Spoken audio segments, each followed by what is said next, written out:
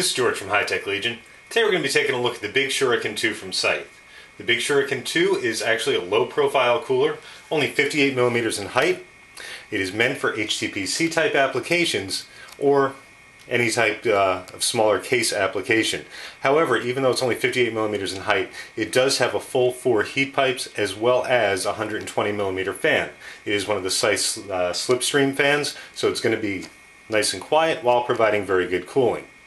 The Big Shuriken 2 comes in, as you can see, a very ornate package showing multi-core 1155, 1156, and 1366 compatibility as well as AMD, AM2, and FM1. We've got a picture of the Shuriken 2 on the front as well as a picture of it installed in a low profile case.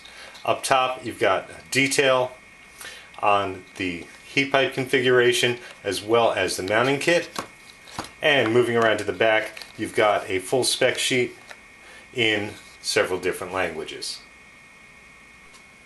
Going inside the box and looking at the Shuriken 2 itself, uh, as you can see, it is a very, very low profile cooler. 58 millimeters, as I said. Heat pipe design is very interesting in that it goes a full wraparound on both sides. This allows for a much flatter profile. Fan itself is only 12 millimeters rather than the standard 25, once again aiding in keeping it very low profile. Does have a very large footprint. It is a 120 millimeter fan, but as you can see, the footprint is going to be that full 120 millimeter fan. So even though it's low profile, it's not going to be very diminutive in the case. Taking a look at the bottom, it is not heat pipe direct contact, but it's got a beautifully polished base, very nice finish on the Shuriken itself.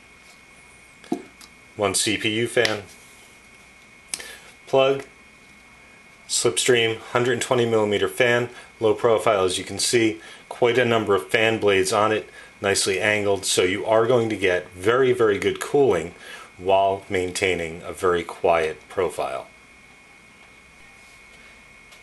Included with the Big Shuriken 2, of course, are all the necessary mounting accessories. First, find an install guide in several different languages, nicely pictured and detailed, separate instructions for Intel and AMD mounting. All the mounting brackets are included. Intel, AMD, one size fits all backplate, and all the necessary nuts and bolts, as well as a small packet of thermal interface material. The Scythe mounting plate is a very easy installation. It actually bolts to the cooler through the back of the motherboard, so you need no access to the front of the cooler, which would be rather difficult given the footprint of the Scythe, as your screws are going to be down here. But all in all, very easy install with the standard Scythe mounting kit.